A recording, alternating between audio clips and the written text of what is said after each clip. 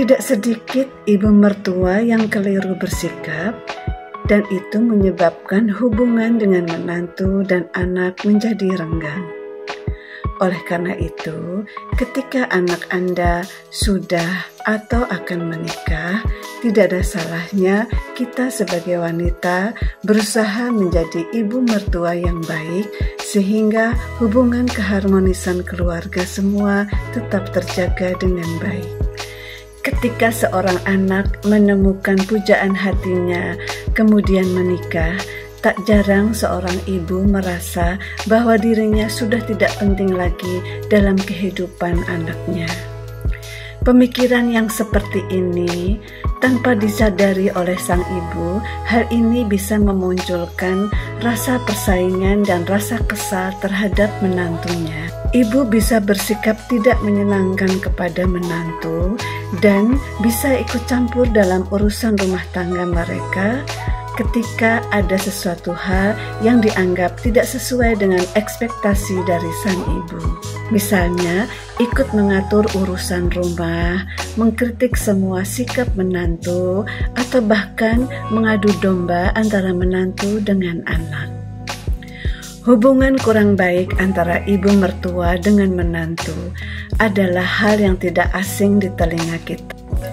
Bahkan stereotip tentang hal ini sudah ada sejak zaman dulu kala. Namun, ini semua bukan berarti bahwa perselisihan antara ibu mertua dengan menantu bisa dibenarkan.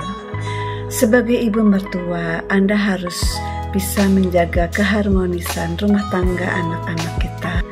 Sebagai ibu mertua, Anda harus bersikap baik terhadap menantu karena semua ini bertujuan untuk mewujudkan keharmonisan keluarga anak sendiri dan juga keluarga besar ibu sendiri. Berikut adalah cara bagaimana bisa menjadi ibu mertua yang baik. Yang pertama adalah memberi kepercayaan.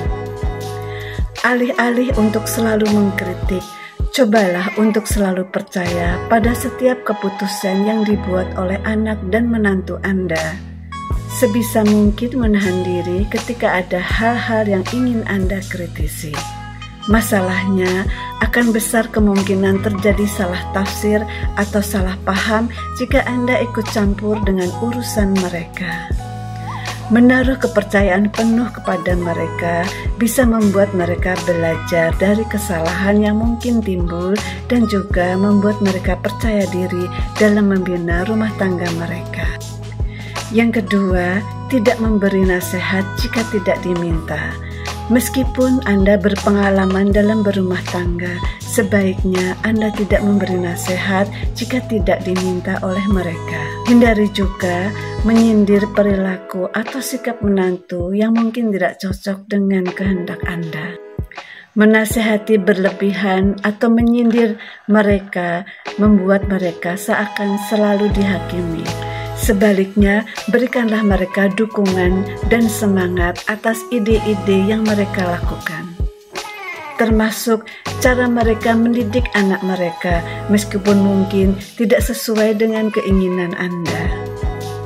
Ketiga, tidak memberikan bantuan atau hadiah yang berlebihan. Memberikan bantuan dan hadiah kepada menantu dan anak memang tidak ada yang salah, tetapi jangan berlebihan. Sesekali Anda boleh menawarkan untuk menjaga cucu ketika anak dan menantu Anda ingin menikmati masa berdua mereka atau me time mereka. Hindari menawarkan hal-hal yang bisa dilakukan oleh mereka sendiri, misalkan membereskan rumah mereka sementara mereka ada waktu banyak di dalam rumah. Yang terpenting, jangan sampai Anda terkesan mengambil alih seluruh urusan rumah tangga mereka. Keempat, menghargai privasi keluarga anak. Tidak hanya anak yang harus menghargai orang tua, tetapi orang tua pun juga harus bisa menghargai keluarga anak-anaknya. Jangan terpancing emosi atau berpikiran negatif ketika anak dan menantu Anda tidak melibatkan Anda dalam suatu hal. Mereka tentu punya alasan tersendiri mengapa melakukan hal tersebut. Menghargai privasi anak dan menantu salah satunya bisa diwujudkan dengan memberi kabar terlebih dahulu ketika Anda ingin berkunjung ke rumah mereka. Jangan sampai kunjungan Anda justru akan mengganggu privasi mereka. Yang kelima, menerima dan menyayangi menantu apa adanya. Cinta kasih yang tulus merupakan kunci keberhasilan dalam sebuah hubungan, termasuk dalam berkeluarga.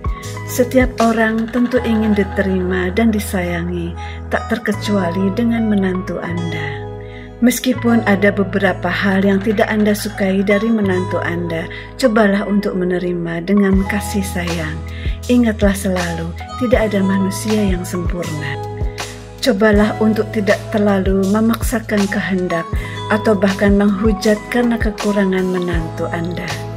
Ketika anak sudah menemukan pasangannya dan membangun keluarganya sendiri, ingatlah ini bukan sebuah kompetisi.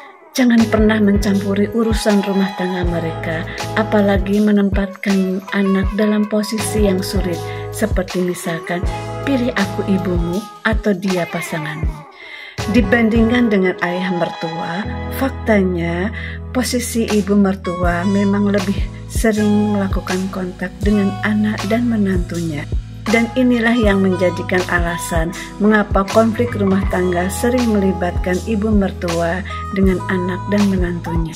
Namun bukan berarti bahwa konflik dengan ayah mertua tidak bisa terjadi.